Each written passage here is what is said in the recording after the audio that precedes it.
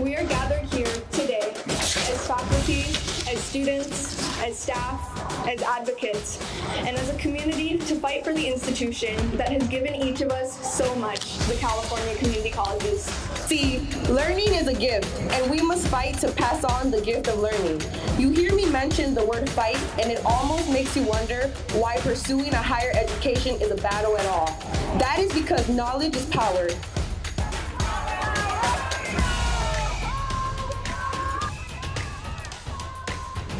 advocacy that we do today may, may not benefit us in our current struggle, but we fight the dream that will help future generations to come.